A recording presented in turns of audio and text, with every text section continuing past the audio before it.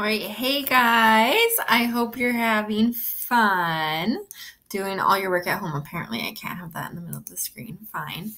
So, I just wanted to come on here and explain how we're going to do our Flipgrid because you have a survey that you're supposed to be doing. So, what's going to happen is you're going to ask yourself these questions and you're going to answer them on the Flipgrid. And I'm going to have this Flipgrid public so that way you can watch other people's.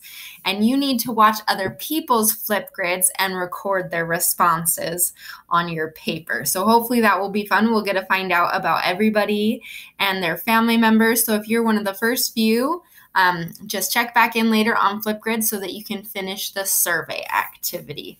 I look forward to finding about out about your families.